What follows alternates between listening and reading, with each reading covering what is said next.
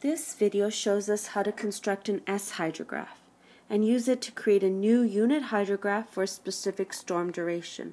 Thus, S hydrographs allow us to generate an adjustment to an existing unit hydrograph. So what is a S hydrograph? It's a summation hydrograph used to adjust the duration of a unit hydrograph.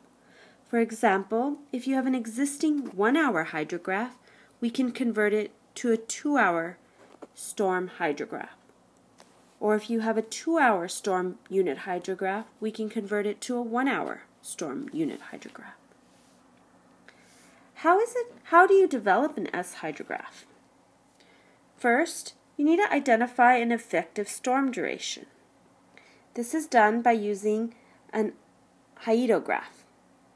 You're given a storm of duration T 1 minutes. This is our effective duration. T1 could represent any time that we desire. Second, we obtain a specific unit hydrograph for a storm of T1 duration. This unit hydrograph provides us a representation of a unit hydrograph for a duration of T1. Next, we repeat this unit hydrograph and effective rainfall indefinitely.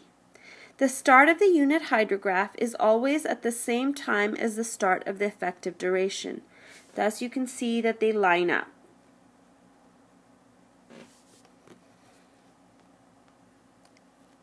Next, we need to sum up the unit hydrographs to develop an S hydrograph.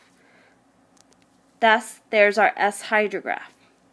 Let's do an example to demonstrate how we truly use an S hydrograph. Create a 3-hour unit hydrograph based on the following 2-hour unit hydrograph. These values are given to us every 2 hours over a 10-hour time period. The first thing you do is you repeat the unit hydrograph as described previously. Since it's a two-hour unit hydrograph, the two hours describes the effective storm duration. So every two hours we repeat the unit hydrograph as follows. Then you sum the values to construct the S hydrograph. Once the value repeats itself, for example in this 300, 300, 300, you know you have reached the plateau or top of the S hydrograph and you no longer need to repeat. Now let's cre create the 3-hour unit hydrograph. Let's rewrite the 2-hour S hydrograph that we determined above. We need to interpolate between each of the two hours to find the 1 hour, the 3 hour, the 5 hour, the 7 hour, and the 9 hour, since we're constructing a 3 hour unit hydrograph. We did this simply by doing a linear interpolation. Since we are doing a 3-hour unit hydrograph, we take the S hydrograph, the 2-hour S hydrograph that we determined, and we shift it. So the 0 right here corresponds to the 0 at 3 hours. The 25 corresponds to the 25, the 50 to the 50, and so on. Next, you take the difference between the 2-hour S hydrograph with the shifted S hydrograph.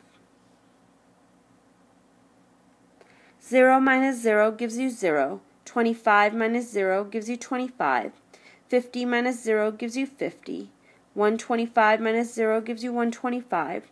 200 minus 25 gives you 175. And you repeat yourself. Next, you're going to calculate the three-hour unit hydrograph.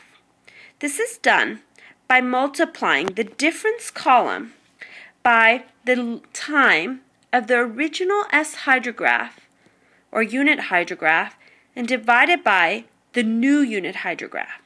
So in this case, we would multiply each value in the difference column by 2 thirds. So 25 times 2 thirds give us 16.7. 50 times 2 thirds gives us 33.3. 125 minus, times 2 thirds gives us 83.3 and so on. So we repeat this for each of the values and we get the 3 hour unit hydrograph. We will do an example of an S hydrograph in class to make sure you understand S hydrographs.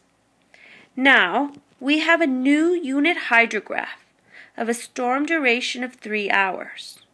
It is still for the same watershed, so the area of the watershed is the same. The only difference is the values of the flow rate for the unit hydrograph.